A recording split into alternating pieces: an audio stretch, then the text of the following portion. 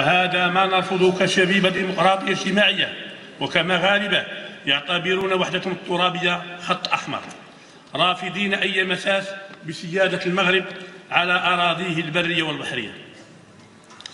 وما انشغالنا بالأحداث الوطنية لا يبعدنا عن مسؤوليتنا تجاه ما تعرف الساحة الدولية والإفريقية والعربية من أحداث كالحروب والتمزقات التي يعيشها الشرق الأوسط بالخصوص والعالم العربي بشكل عام في سوريا والعراق واليمن وليبيا. والضغط المتزايد من قبل القوى الإمبريالية العالمية الذي يدكي حالة الاحتقال واللا استقرار بالوطن العربي.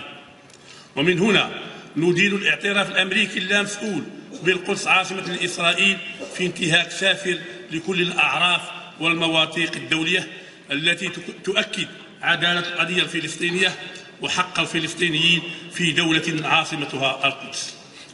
أيتها المناضلات والمناضلون منذ تحملنا المسؤولية سنة 2011 ونحن نعمل جاهدين إلى جانبكم على إبراز دور شباب حزب الحركة الديمقراطية الاجتماعية داخل المشهد السياسي المغربي والعالمي. من خلال صياغة برنامج يلائم تطلعات شباب الوطن المتمثل في إنجاز مجموعة من الفعاليات الوطنية والدولية. أبرزها تنظيم منتديات تكوينية وجامعات شبابية استفاد منها ما يفوق 3000 شاب سنويا. استهدفت تأطير الشباب بالقضايا السياسية وآليات فعل الشباب في صناعة القرار. وتواجدنا الوازن والقوي بالهيئة الوطنية للشباب والديمقراطية ومشاركة باقي الشبيبات الحزبية المكونة للهيئة هموم وقضايا الوطن والشباب. كالمشاركة في لقاء العيون للتنديد بكل القرارات المنحازة للجبهة الانفصالية من طرف الأمين العام السابق للأمم المتحدة. والتواجد الفعال بجل المنتديات الاجتماعية العالمية أبرزها منتدى دكار وتونس والبرازيل والأردن. حيث شجعت الشبيبة الديمقراطية الاجتماعية مواقف قوية دفاعا عن قضايا الوطن وفي مقدمتها قضية الصحراء المغربية. أيتها المناضلات والمناضلون إن الشبيبة الديمقراطية الاجتماعية تطالب بتوزيع عادل للثروات بين الجهات في إطار العدالة المجالية وبصياغة استراتيجية وطنية واقعية وجادة تلائم تطلعات الشباب وتضمن تكافؤ الفرص بين شباب العالمين الحضري والقروي وشباب المغرب العميق.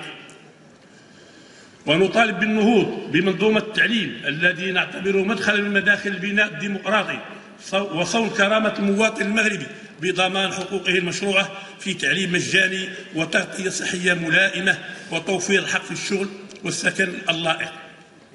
أيتها المناضلات أيها المناضلون نعدكم أننا سنظل أوفياء للعقد الأخلاقي الذي يجمعنا الذي يجمع بيننا وبينكم من خلال التزامنا وحرصنا على إشاع منظمتنا الشبابية انسجاما مع فكر وفلسفة حزب الحركة الديمقراطية الاجتماعية كما أسس لها الزعيم المؤسس محمود عرشان ورفاقه وصار على دربها خلفه الأمين العام الأخ عبد الصمد عرشان.